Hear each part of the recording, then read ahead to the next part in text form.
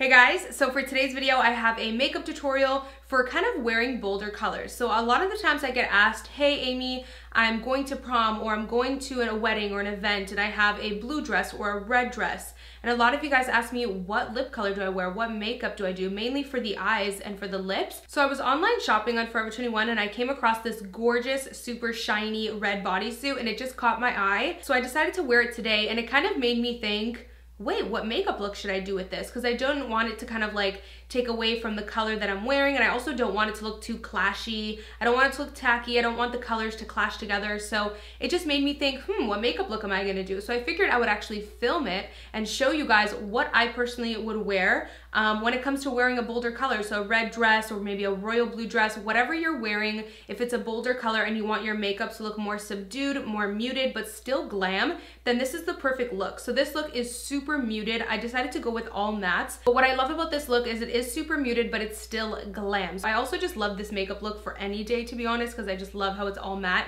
But anyways, um, yeah, hopefully you guys learned something from this video. Hopefully I can help you and hopefully you enjoy. If you are interested in checking out how I got this makeup look, then make sure to keep on watching. So we're starting off with priming, of course. So I want my skin to look really fresh and natural, but I also don't want it to look too dry or too glowy. That's just me personally. I honestly feel like you could definitely do a glowy look, especially with the red dress. I feel like a glowing um, hydrating face would look beautiful, but I don't know what it is with this because I think this um, top, this red top that I'm wearing right now is already, it's like a satiny material. It's actually a very shiny material, so it's like a shiny red.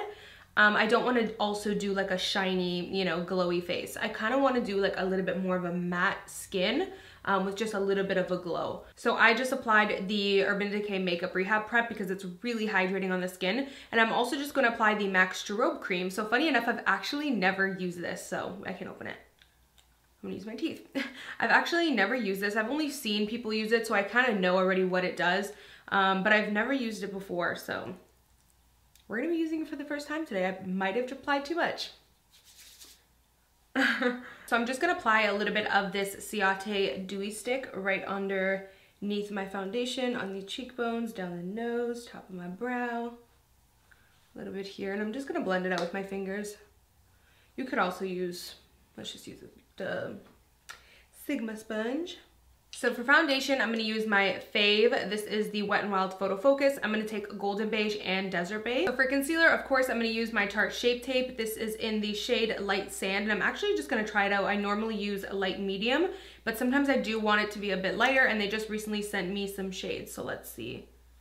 Whew, that is light. So we might mix in a little bit of light medium still, but so first I'm going to blend out the center because I don't want the highlight to be too strong there. I'm just going to blend it out with the foundation side of my Beauty Blender.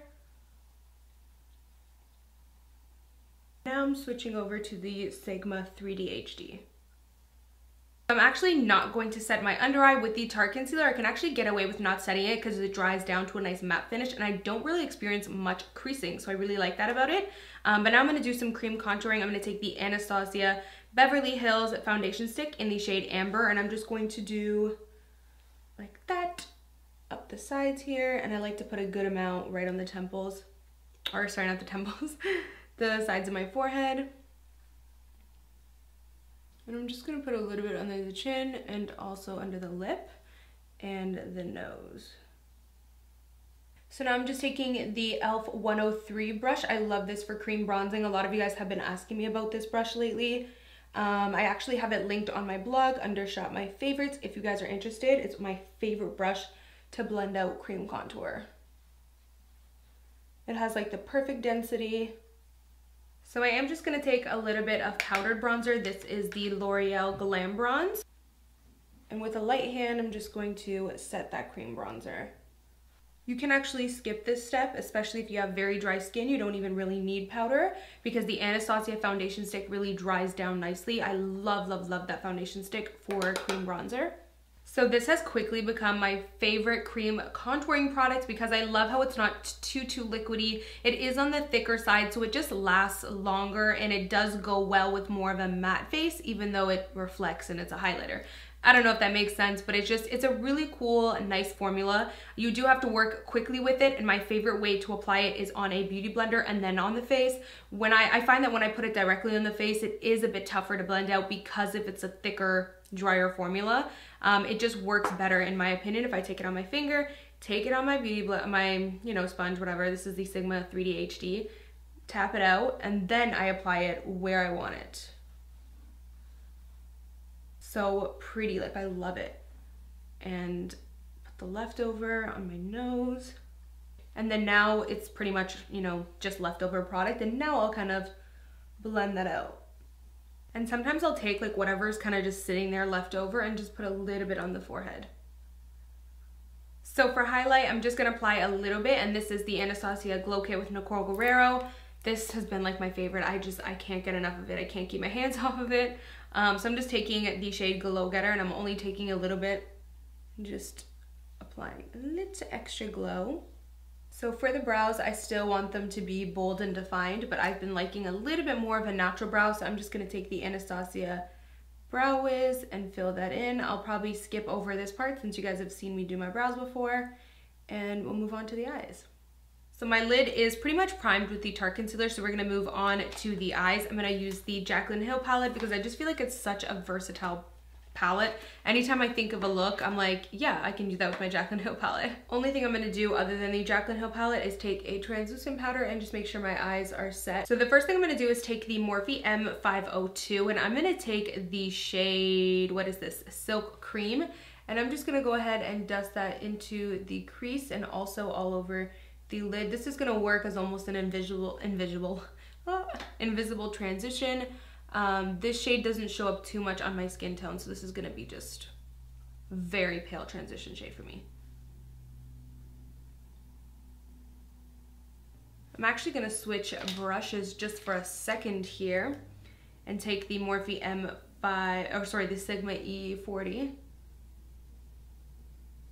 this shade just adds like the palest transition. I feel like if you don't want to wear eyeshadow, but you just want like the slightest little bit, this is the shadow I would go for. So next I'm gonna take the M502 again, so Silk Cream and mix it with a little bit of Pukey. So I'm just gonna take the brush, angle it upwards and really put it in here. I wanna make my um, crease look a little bit deep set, even though it isn't. I'm really just gonna keep my eyes open and work this shade right in here. Picking up little by little and just continuously repeating that step, it's gonna make me look like I actually have more of a crease than I do, as you can see. Because my lid, like, I mean, I kind of have a little bit of a hooded eye. So my crease kind of disappears a little bit. So we're just gonna make it look deeper set. Going into the Sigma E40, I'm just gonna kind of buff everything out just to make sure everything is blended. So I'm actually gonna switch over a little bit to the Sigma E36 and I'm going to take Pukey again and do that same technique. And it's really going to emphasize that deep set crease effect that we're trying to give. So I'm gonna take Silk Cream with a tiny bit of Pukey and I'm just going to go over this outer area on the lid. I'm gonna take the shade Beam and I'm just applying that on the lid, but just on the inner part of the lid, taking that fluffy brush again and blending it out just to give a slight ombre effect. And I don't want that crease to disappear. So if the color Beam touches it like how it did, I'm gonna go over it with this brush just to make sure it doesn't do that. I'm taking a tad bit more pukey on that outer area, just on the very outer. I'm taking a tad bit of mocha and applying that into the crease again with that same technique, but I'm only taking a little bit because I really don't want this look to go and get too dark. So I'm taking a detailed brush. This is the Sigma E16. It's for tight lining, but I'm just gonna use this for um, the inner corner kind of area. I'm gonna take the same highlight that I used and I'm gonna put it right on the inner corner right here. Look how beautiful that is. But then I'm gonna take it and just bring it a little bit in here. So taking the Sigma E36, I'm gonna take Silk Cream and I'm really going to blend that underneath the eye. So now I'm gonna take Pukey And I'm not gonna bring it in as close as I did to Silk Cream. I'm just gonna start in the middle now to outer. Now I'm gonna take a little bit of Mocha and just on the outer, I'm not gonna bring it in as close as I did Silk Cream or Pukey. So now I'm just taking the black in the palette and I do not want this to be too dramatic. So all I am doing is pressing it down a little bit there. That is it. I don't want too much black, too much drama, because again, we want this look to be super subdued and muted and really soft. So yeah. What I am gonna do is take the Sigma E36 again, whatever product is left, left over on it, just run that over the black and it's just gonna really soften it up I'm just going to apply a little bit of mascara. This is the Maybelline Lash Sensational. I'm just doing this to coat my lashes before we apply some falsies. So for the lips, I'm going to take Kylie Exposed Liquid Lipstick, but first I'm just going to outline with Kylie Exposed Lip Liner. And I am just going to mix in a little bit of Dose of Colors Supernatural. So that is it for this makeup look, you guys. I really hope you enjoyed it, and I also really hope that you learned something. I personally love this look just for any any day, any outfit, but again, I think it just, it's perfect for a super colorful outfit so that you don't kind of take away from the dress you're wearing or the outfit that you're wearing. So as always, thank you guys so much for watching, and of course, I will see you guys in my next video. Bye guys. Mwah.